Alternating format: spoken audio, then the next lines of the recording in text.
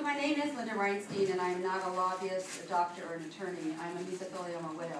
That's a photograph of my husband, um, just about six months before he passed away. Uh, Alan had both occupational and environmental exposure. These are preventable diseases, as Dr. Lemen and Dr. Castleman have shared with you.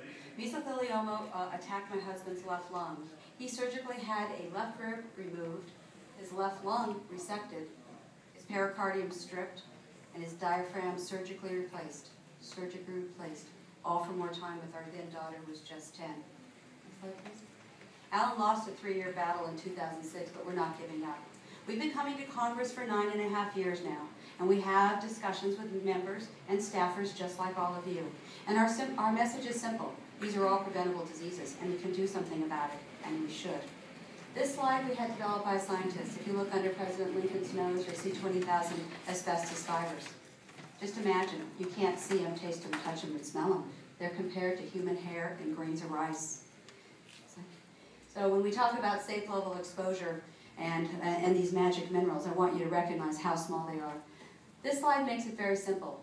We know asbestos, two things. Asbestos is a known human carcinogen, and there's no safe level exposure. Yet, in the United States of America, exposure continues. As Dr. Castleman pointed out, USGS gives us reporting data, and we have we, we collect it and we also disperse it on the internet to keep education alive. And did you know that we, the United States, actually imports asbestos, a known carcinogen? We imported a thousand tons this last year. And why? That's what my interns ask. Why, Linda? To meet manufacturing needs is what USGS tells us. There's something wrong with that. The good news about these presentations, just so you know if you're typing quickly, we've made a resource page for all of you so you can actually get our PowerPoints, the documents that we're referencing during this, this uh, briefing, um, and I'll make mention exactly to the URL. Um, I want you to think about environmental exposure. What is that? Well, on the far left side, you can see Joplin, Missouri. Was it not hard enough that a tornado ravaged that city? But then 2,600 tons of asbestos debris was removed by people just like us. Not, not licensed, not wearing respiratory protection, 2,600 tons. But if we look on the far right side, we talk about natural and man-made. Libby, Montana is an excellent example of a man-made disaster. They mined vermiculite, which was contaminated with asbestos. This town of Libby, Montana is a toxic dump. They cannot clean the asbestos out of Montana well enough, although Congress remains engaged and funds efforts to do that. Once these minute airborne fibers are airborne and dispersed, it's like a pillow. How can you ever collect feathers when the pillow breaks open? These invisible fibers remain, remain airborne and cause huge problems. But for me, it's really it's it's about the workers. We know we have OSHA regulations and and and all kinds of uh, protection and breathing equipment, but workers don't always know. And this happened right underneath the steps of the Capitol. These 10 workers were working underneath the tunnels, keeping those offices that you work in hot in the winter and cool in the summer. The asbestos was so thick, if you look on the far right side, one of the tunnel workers could actually write his name John. He wrote his name on top of asbestos that thick. Next. Well, it's sad, but many new patients um, are actually young women, and they've never worked around asbestos. It was once thought that Doug's father-in-law and my husband were the average kind of patient in their 60s that were diagnosed, but that's not the case. Heather's a great example. She's just 45 and her baby is five years old. She's also had an EPP like the surgery my husband had. We know that the numbers are large. Over 10,000 people, Americans die every year. But I want you to think about this environmental and occupational exposure and consumer.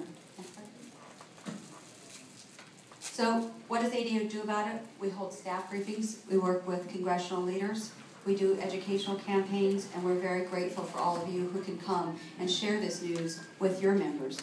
I want to take a minute it's great with social media now because I can put an ask out through Twitter or Facebook. Um, does anybody have any new products they'd like us to share? Because that's a common question that I get with within ADAO. Is Linda, how do I know where asbestos is? What do I do when I find it?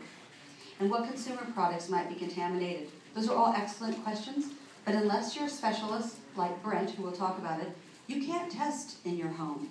You don't know, and packages aren't marked. This is very concerning to me. A scientist that we work with in South Carolina actually sent me this. um, he commented that, hey Linda, I just got um, an asbestos mitten in, with my furnace. And I thought he was just kind of yanking my noodle. No, it's 90% chrysotile. This asbestos mitten was included in a high degree furnace to be used to hopefully move the contents around. There's no marking, and, and it's double bagged, but you can actually see the asbestos loose fibers in this um, in the Ziploc bag. Now, as consumers, how do you know what's contaminated? And can we do something? Absolutely. We can follow the other 55 countries around the world that have indeed banned asbestos. But until we have a ban, we're going to deal with more consumer product contamination, environmental and occupational exposure, and disease and death will continue. We have a really special woman here today, and this is her first trip to Washington, D.C. Mrs. Barbara McQueen is going to share her story. But what people like Barbara are doing, are they're using their voice. And in Barbara's new book that's actually on the table, I asked Barbara if she'd be interested in putting in a, a, page of awareness in her new book about Steve McQueen and their life. And she has. And on the back of your handout, you'll see the article that's in Mrs. McQueen's book. And it says mesothelioma, can't pronounce it, can't cure it. And we're hoping that we can continue to raise awareness with efforts like this.